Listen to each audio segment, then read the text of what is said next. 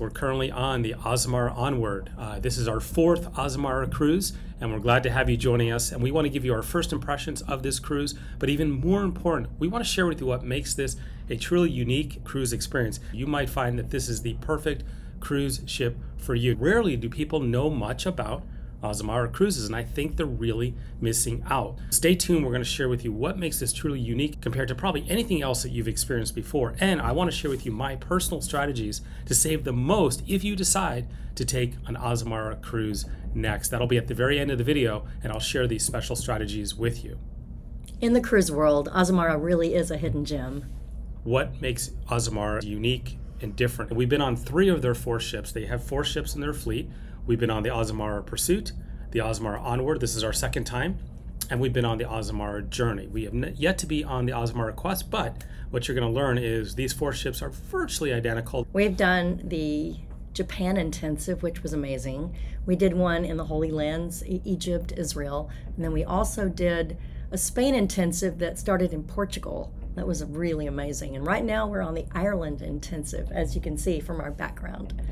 One thing that makes Azamara really unique is that they're itinerary intensive. They focus on your destination and try to get into smaller ports than a lot of the bigger ships can't get into. That's one of the real values of Azamara. In fact, we're in some ports on this cruise that never see cruise ships. The small size of Azamara's ship allows us to get into really small ports, places the big ships can't get into. For example, when we went to Seville, we literally just sailed right up the river and berthed right in the middle of Seville. So that was a very cool aspect of that cruise. And we did it in Dublin as well. In mm-hmm. fact, our taxi guy couldn't even figure out how to get us to our ship initially. These ships, the they have about at most full capacity, about 690 to 700 passengers. The one we're on right now, it's got about 614 overall. Think about that. The ships today sail with 7,000 passengers. If you're on Azamara, yes. the most you're going to sail with is six to 700 people. So it's a truly unique, different experience. One of the real big advantages also about sailing with Azamara, definitely the unique itineraries. These ships don't go back and forth to the same ports like most cruise ships. They tend to be global, moving all around the world. Uh, if you're somebody who wants to do back to back, you're almost never going to repeat uh, sailing if you book back to back. So you've got these really unique itineraries. Monica mentioned these intensives. Mm-hmm. So it's 12 stops in those places. Each day you're somewhere new. Most of the time, there's no other ships coming into many of the places uh, that we explore. In addition, they do a lot of overnight stays. We've been on mm-hmm. almost 50 cruises. It's rare that we're ever staying somewhere after six. So you can imagine being somewhere sometimes at 10 o'clock or 11 o'clock at night, and at times also staying overnight and having two days uh, in the same port. So that's yeah. another really unique uh, part of sailing with Azamara.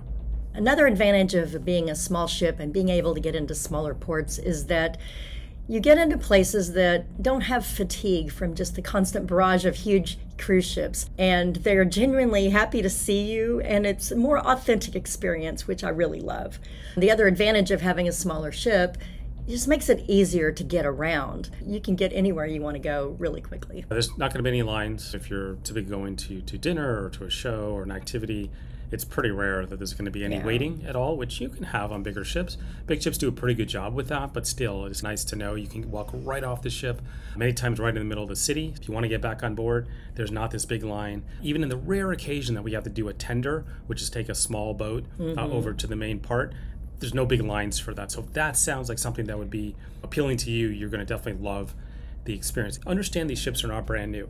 These ships were put into service maybe 20, 25 years ago. They came from a really innovative cruise line that did not make it. Uh, I think there was 12 ships that were mm-hmm. designed. Azamara owns four of them. Other ships are in other cruise lines. But what they do is when they purchase the ships, they completely refurbish them. They're all going to look very similar. I always uh, describe it as like comfortable living room maybe a little country club vibe, but surprisingly modern. Not, mm-hmm. Nothing that's really opulent, none of the really fancy chandeliers and glitter and glamour like that. It's really subdued, which I like a lot, the gray tones. So it's going to feel very current and new. But comfortable just, luxury. Yeah, comfortable luxury for sure. So it's not going to be white glove service. It's not going to be like that where it's almost stuffy. It's not stuffy at, at all. You'll find the passengers are really friendly, travel, like to talk to each other, which is nice. Nobody really gets dressed up. So if you're really into dressing up, this is not the cruise for you. The age range is going to skew a little bit older. Typically, it's been 40s, 50s, 60s, 70s. Just so you know, if you're 25, may not be the perfect cruise for you unless you're really all about the destinations. You'll be more than welcomed, mm-hmm. uh, but just understand your average age here is probably in your 50s to 60s. However, the people tend to be well traveled and able to get around. In mm-hmm. addition, Azamara's got some really cool onboard experiences. They have something called the AzAmazing Evening Destination Celebration in a specific port. And they bring in performers and they'll have food and drinks from this country. And it just makes for a really nice celebration. They also have something called the White Night Party where everybody wears white. It's also very fun. They do a nice dinner up on deck. And it's just a very fun vibe. Yeah, it's a big barbecue and there's live music. Speaking of entertainment, these are going to be not true Broadway production shows. Just understand maybe a bit more off Broadway. It's a smaller theater, it's a little bit more intimate, but they have some good talent mm-hmm. overall. The entertainment staff will do a number of different shows during the week, even to the point where your cruise director typically can sing. I like the fact that they still use real musicians mm-hmm. for everything, so it's not just piped in music. So while the entertainment's not going to be at the level you may have experienced on some of the grander, newer ships, with sail with 5,000 people, mm-hmm. it's still going to be pretty good entertainment overall. Another big thing about Azamara is it truly is inclusive amenities. And what we mean by that, there is a lot that is included. Now, your pricing is going to be typically a little bit higher uh, than you might find on a Royal Caribbean, a Princess, a Celebrity, Holland America. But you also get a lot that's inclusive. Number one, your tips are included, and that adds up. In addition, you get beer and wine at your meal. So lunch and dinner, beer and wine is included, free flowing, unlimited, as much as you want. You also get a classic beverage package. All right, now it's not going to be top shelf necessarily, but you can get some of your basic spirits, your basic drinks. Those will be included. You can upgrade to a premium package, and it's not going to be really that much. Beverage packages on other ships, they could be up to $100 per day per person. Yeah. So think about your savings. In, in one week, you might save $1,500 on a beverage package. So you're starting to get some things that are included on Azamara that starts to really justify the little higher price point. Mm-hmm. So let's talk about food a little bit. Always important. Again, smaller ship, you're not going to have a lot of different venues to eat. Uh, your dinner is there's two specialty restaurants which are both very good.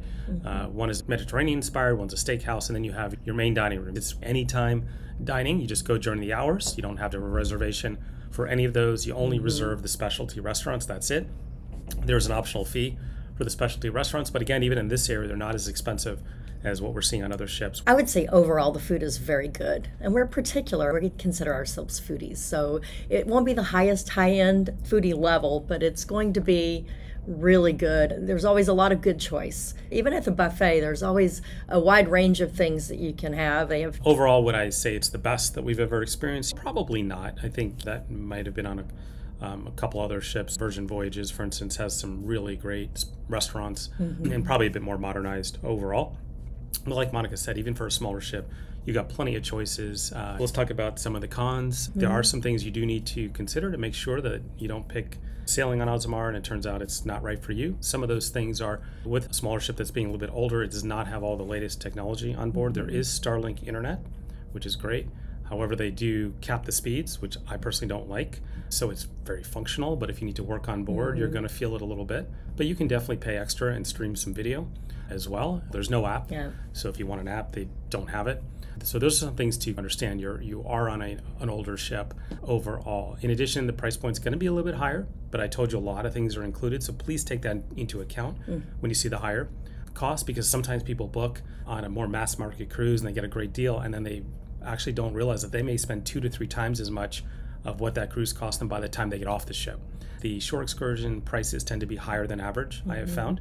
They're not better than average, they're okay. So we'll put a video down below where we show you how you can save a lot of money and avoid doing a lot of these cruise mm-hmm. ship excursions. There's times you're going to want to do one, but there's definitely times you're not going to want to do them. Family, not really for families, not for families with kids. We rarely see kids once in a mm-hmm. while. It's not the best cruise line for you if you have young children. I would discourage it overall. Like we mentioned, there's going to be a few less activities, right? Again, mm-hmm. when you mm-hmm. only six, seven hundred people, your daily schedule is not going to be four pages long like it is in some of the big ships with lots of choices. There's lots of points in the day where there's a band in one area, and that's pretty much it. And maybe there's two different music venues going on at once. Now there might be a really cool enrichment lecture going on. It's a bit more about a cultural experience uh, than the ship itself. The ship's super comfortable. So let's go ahead and shift over and show everybody what the room looks like. So you can see from uh, this video, we're taking you through our room. Mm-hmm. We're in a standard uh, veranda cabin uh, right now. What kind of stands out to you about the, the cabin? I love the layout. It's not one of the long, uh, narrow cabins that we've seen before. I feel like it's plenty wide enough. There's a desk that I can use as a vanity, something you can use as a workspace. There's nightstands that you have, re- and plenty of storage overall. The bathroom's small, but it's big enough for what you need. We have a nice balcony, but they mm-hmm. have inside cabins, ocean view, couple different levels of veranda cabins like this one. We're sitting on a mm-hmm. veranda right now. There's also the Continental Suite, which is really double the size of the one that we're in now. It's a beautiful room. I don't know if it's worth the big upcharge. Understand that if you book it inside and then you go to Ocean View, you're going to pay about 25% more. If you mm-hmm. go to a veranda, you're almost double.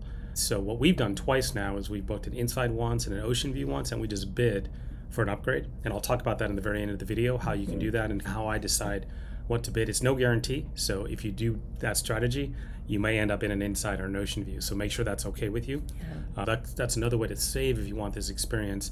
Uh, just don't go for the more expensive cabins. And then there are some suites as well.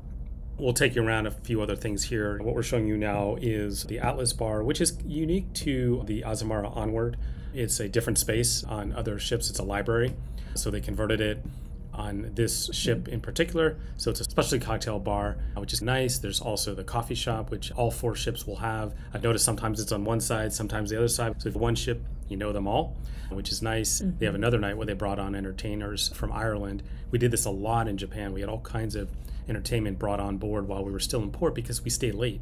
So they can bring somebody on, you can have a show. In this case, they cooked a really nice meal on deck, as well as we had this great show that was uh, going on that we're sharing a little bit uh, of that with you. Overall, how would you rate uh, the experience here so far on this one, our fourth Azamara? Well, I always think it's a great experience. You get used to the same ship layout. Every time you do it, it's just like being home. It's comfortable. I love the coffee shop. I spend time there. And what I love is also you don't pay extra for those specialty coffees, it's all included. So that's really nice. And then there's an area called the Den where you can hang out and there's a bar in there and everything. I'll take my laptop and go up there and just sit and hang out and work. So for me, uh, really great experience. I think these to me are about the destination. So some ships I book for the ship. This one I book for being wanting to be really comfortable, having a real nice small ship experience, into a place that we want to go. Like right now, we've been debating uh, this booking possibly down in Africa and hits uh, places like Madagascar and Seychelles and Mauritius, Kenya and Mauritania, Kenya. Zanzibar. Um, yeah, so we need to do it on this small ship experience like yeah. this because they can get into places you typically won't see a lot of the other bigger ships doing. I'm going to switch over here. I'm going to share with all of you if this is interesting to you and you may consider one of these. I want to show you how we save the most uh, on these bookings, give you some strategies to do that, and maybe you'll consider taking a cruise on Azamara. We would definitely highly recommend it if this speaks to you, what mm-hmm. we're sharing. The first overall. thing that struck us when mm-hmm. we were first on Azamara is just not how friendly the crew was, which they were, but more about the other passengers. People would just start talking to you. I felt like there was this uh, loyalty, and people were just travel lovers and wanting mm-hmm. to talk about their day and where are you from and stuff like that. I feel like they're amongst the nicest fellow passengers of the sea. One thing we didn't share with you is actually Azamara's history. Uh, this was originally part of the Royal Caribbean group. So Royal Caribbean, Celebrity, Silversea, and Azamara. And about a year ago or so, they went private, have a private equity company that owns it now. We've cruised before and after mm-hmm. and haven't noticed a big difference overall. The experience yeah. has still stayed pretty consistent throughout. All right, so let me share with you the ways to save a lot of money on your next booking on Azamara. Number one, very easy. You're just going to go to azamara.com. First thing you're going to find is almost always there is a sale going on, and these get repeated over and over again. When I'm recording this, as you can see, they have a pretty nice uh, promotion going on a lot of different cruises. Uh, this is going to include $300 in shore excursion credit. They're giving Wi Fi for one device, an upgraded beverage package for two. You already get a pretty generous beverage package, but it gets you a few more different cocktails that you can have. Azamara is amazing with their itineraries. They're not your traditional classic cruises that go over and over to the same spot uh, in the Caribbean and or Alaska. They may hit those spots, but you're going to get a truly global experience. You can go anywhere pretty much uh, in the world on one of Azamara's four ships. So keep that in mind as well. Number one, for the savings and the sales on the website, get onto their list, give them your email, and you'll be notified and you'll be surprised just how many great deals there are overall. Now, the first time you book, you're not going to be in their loyalty program just yet. But your first sailing, immediately you'll be part of the adventurer tier. But as when you book your first time, you'll be off the boat, right? You'll be booking with a travel agent, or you can book direct. I highly recommend you book with a cruise travel agent. The reason being, you should be offered an onboard credit by booking through them. You're going to get the same exact pricing that you would get booking direct with Azamara, but they should also be throwing in onboard credit. Onboard credit can be used for a lot of different things, from specialty dining to shore excursions, Wi-Fi, and other amenities, the spa, etc. I typically get about 5 to 10% of the cost of my cruise back from my travel agent in the form of an onboard credit. So let's just say I'm spending $4,000, I could get up to $400, sometimes even more in onboard credit on top of all the other savings and discounts. There's a video I put together on how to do this.